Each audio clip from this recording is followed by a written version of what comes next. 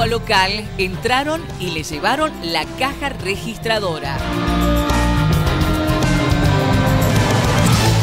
Nos encontramos en punto de noticias en esta esquina, en Belgrano, intersección con calle Rivadavia, donde desde hace algunos años, como vemos en imágenes, funciona una importante carnicería, un comercio de nuestra ciudad reconocido y de amplia trayectoria. Eh, en la madrugada del domingo eh, se recibe una denuncia, mm, ya que siendo 14.30 horas, eh, su propietario, el propietario de esta carnicería, Jorge Natali,